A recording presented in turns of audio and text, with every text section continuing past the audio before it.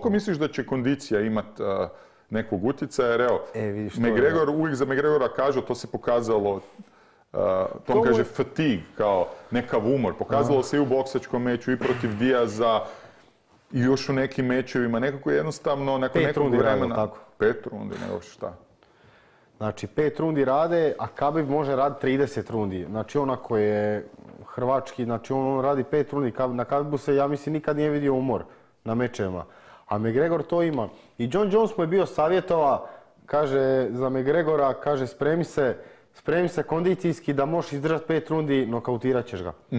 A ako nećeš moći izdržat, jer ako je on svaku rundu će biti sve lošiji i lošiji, on je to prednost, jer ovaj će svaku rundu biti bolji. I zato ja mislim da McGregorove realne šanse da ga pobjedi će biti prva, druga runda nokaut, a on u petoj rundi nema šta raditi s Khabibom, realno. Po meni. Što misliš kako će se postaviti svaki u, i jedan i drugi u meču? Uh, hoće li ući oprezno, hoće li ući full gas, jer ipak ja kužim te što hoćeš reći, slažem se s tom potpuno, ali... McGregor se neće ići ali odmah. ako, e, ali ako, kužiš, ako McGregor uđe odmah unutra, on, on će razmišljati na to, neće on sam sebi reći ja nemam snage ili mogućnosti pobijediti ga u pet, jer svako vjeruje u sebe. I sad, on će vjerojatno ući malo opreznije da opipa i razmišljat će, gle, ipak trebam rasporediti neku snagu na 25 minuta. Kako misliš da će se jedan i drugi postaviti? Ja, McGregor ima taj, taj klik u glavu koji je, koji je jednostavno jasan, najjači od svih. Znači, McGregor, ja mislim da McGregor u svojoj glavi misli da bi on pobjedio Stipu Miočića. 100% je siguran u to, ili Kormijera sad. e, Znači, McGregor je u svojoj glavi najjači borac na svijetu. I on, on, on je oprezan, on pazi u, svak, u svim mečevima, ali ovaj, mislim da se neće zaletiti, jer on zna da mu je u prvoj rundi, ako ga ovaj odmah ruši, da, da će ga to iscrpiti u podu. Isto, A i suhi će biti teže dok si suh E, na podu. I on je, on je isto pametan. Znači, njegov tim, on je napravio najveći uspjeh u tom sportu u povijest. Znači, ne, neće on raditi glupost tu sigurno.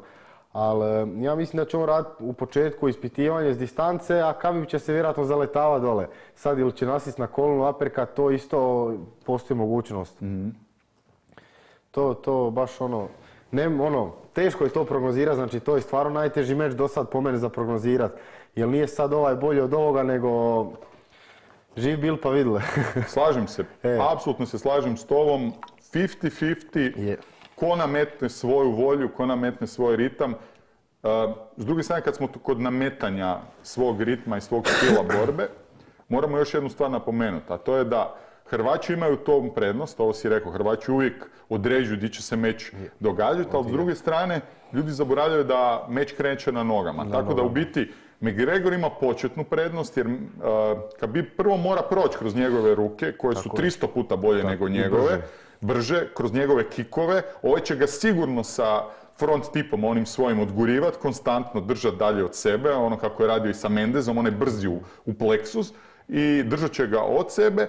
Tako da, e, pravo je pitanje hoće li ga Khabib u prvoj rundi moći, ili bar u prvih dvije minute dok je ovaj svjež uspjet srušiti. E tu je McGregorova šansa. On u prve dvije minute ako za- zakači Khabiba, to će biti velikih problema za njega. A ja mislim da, da Khabib uz to nije osjetio udarac. Ko što radi McGregor u borbi. Jer ti jednostavno po tim mečima, on koga pogodi sa tom, taj nije ostao na nogama.